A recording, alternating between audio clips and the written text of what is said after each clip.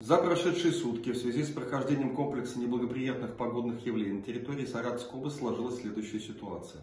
Были введены временные ограничения на движение четырех участках федеральных автомобильных дорог, 16 участках а, муниципальных автомобильных дорог. Имеются ограничения на движение региональных автомобильных дорог. Совершено спасательной областной службы спасения 16 выходов на оказание помощи терпящим бедствия в снежных заносах. Также выезжали на ликвидацию последствий пяти дорожно-транспортных происшествий. Из снежных заносов эвакуировано 16 человек, из них двое детей.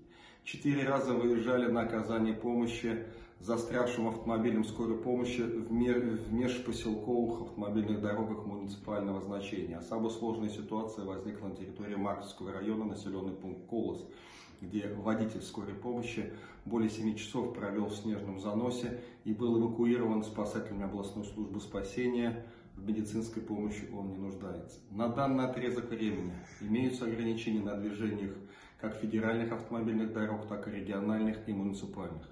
Огромная просьба к жителям Саратовской области максимально воздержаться от движения на личном транспорте, не выезжать на участки имеющие ограничения по движению, не создавать проблемных ситуаций.